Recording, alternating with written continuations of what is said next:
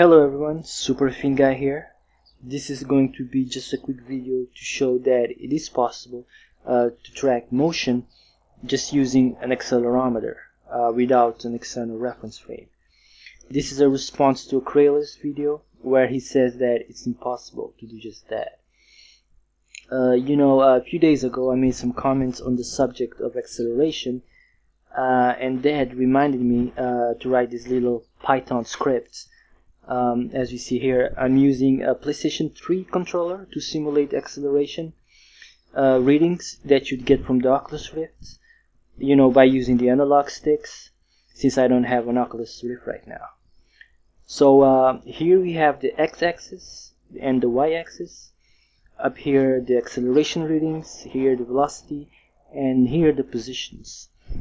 Now, down here we have just the frames per second, the number of frames being calculated, and the running time.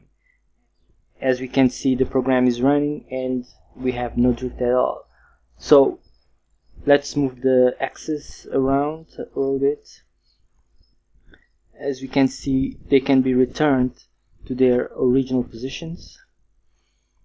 As I move around, notice the acceleration readings. They are between minus 1 and 1 so the maximum acceleration here is 1 pixel per 0.03 of a second since the program is running at about 30 frames per second.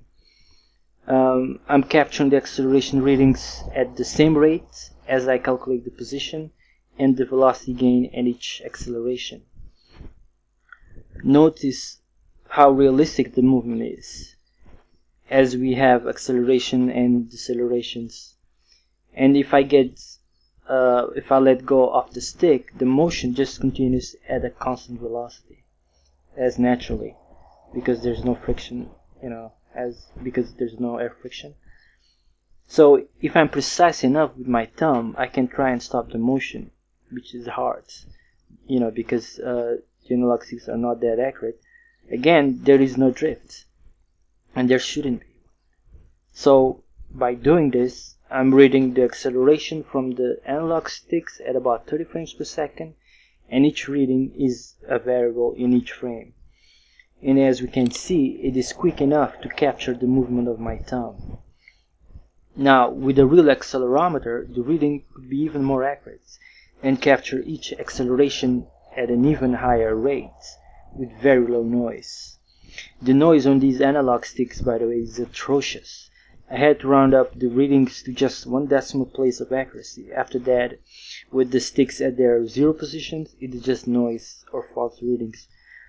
But such an accuracy is sort of enough for 30 frames per second. The only way there could be a mismatch between the motion and the analog sticks is if uh, there is a frame lag, of course. So mathematically, I'm using a first degree equation to get velocity and position, not using a second degree equation here.